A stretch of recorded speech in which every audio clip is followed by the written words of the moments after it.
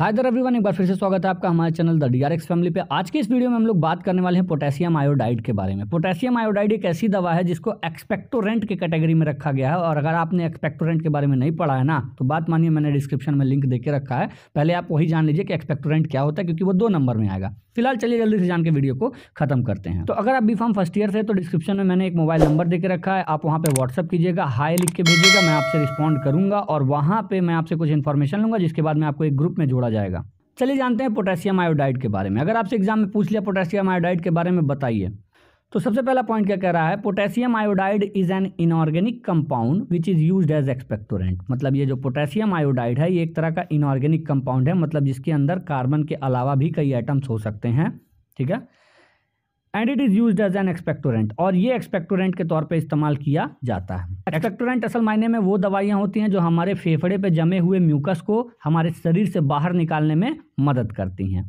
दूसरा पॉइंट क्या कह रहा है? Potassium iodide is also called as kali iodidum and pot iod मतलब ये पोटेशियम आयोडाइड के दो और नाम हैं, एक काली आयोडिडम और पॉट आयोड अब अगर बात करते हैं मॉलिकुलर फार्मूला की तो इसका मॉलिकुलर फार्मूला है के आई और मॉलिकुलर वेट की बात करते हैं तो मॉलिकुलर वेट है 166.01 ग्राम पर मोल प्रिपरेशन की बात करें, इसको बनाने के लिए आपको चाहिए होगा पोटेशियम हाइड्रोक्साइड का छः मोल आयोडीन का तीन मोल। यार सिंपल कह लो पोटेशियम हाइड्रोक्साइड और आयोडीन को जब तुम रिएक्ट कराओगे तो तीन चीज़ें बन के सामने आएँगी पोटेशियम आयोडेट पोटेशियम आयोडाइड और वाटर बस ये हो गया आपका प्रिपरेशन इतने से ही आपका पोटेशियम आयोडाइड बन गया, यहाँ पर आपको देखने को मिल रहा होगा। Property of potassium iodide potassium iodide की अगर हम प्रॉपर्टी की बात करें इसको फ़िज़िकल अपियरेंस अगर हम देखते हैं तो सबसे पहले ये क्यूबिक होगा क्यूब लाइक होगा या जो आप लूडोस खेलते समय जो आपके डाइस होते हैं उस तरह से हेक्सा हाइड्रल होंगे ठीक है? एक हेक्सा हाइड्रल क्रिस्टल वो होते हैं जिनके छः फेस हों ठीक है? छः सरफेस जिनके ऊपर दिखें ठीक है?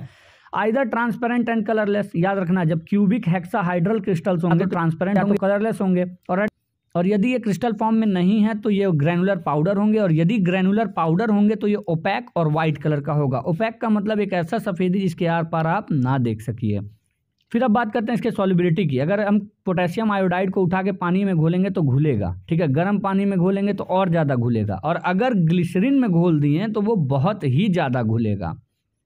तीसरा पॉइंट कह रहा है light and moisture accelerate the decomposition of के मतलब अगर पोटेशियम आयोडाइड को आप हवा में या नमी वाले जगह पे छोड़ देते हैं तो वो ख़राब होने लगेगा बहुत जल्दी।